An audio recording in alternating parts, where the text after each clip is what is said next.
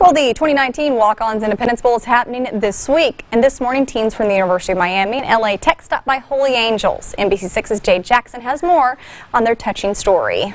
Question. What makes an angel?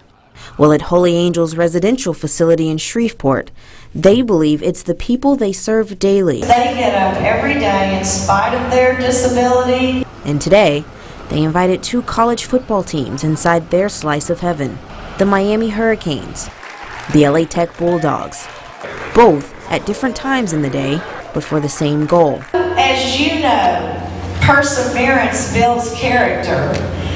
You are touching shoulders with angels who know the same thing. Spending time with residents by doing different activities like bowling, to arts and crafts. Oh, okay, Keontae, I see you now, I see you.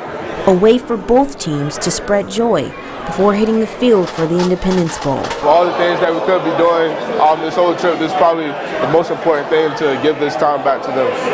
That rings especially true for LA Tech defensive back Aaron Robertson, a native of Shreveport. I mean, it's a surreal moment finding out that we were coming to the Independence Bowl. I was kind of shocked at first because, you know, being in a place in my career home is really a, a, different a different experience. But he's happy both teams are out to share these moments with the residents.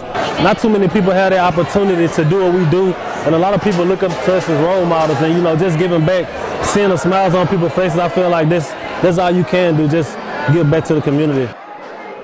And that was Jade Jackson reporting. Coming up, Louisiana Tech practice for the first time since arriving in Shreveport. We hear from head coach Skip Holtz.